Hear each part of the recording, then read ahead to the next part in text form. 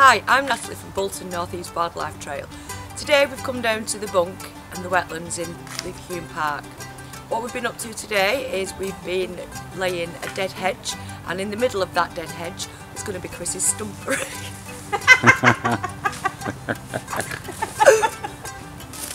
and the stumpery is actually where we were taking all tree stumps that have fallen down, cutting them down and placing them um, inside here, where because the, the tree roots upside down, it's really damp, crack crevices inside it. So this would be perfect for mushrooms and fungus to grow. So hopefully we could put any tree stumps we find inside there and it'd be a single area where anybody could come down and instantly find mushrooms.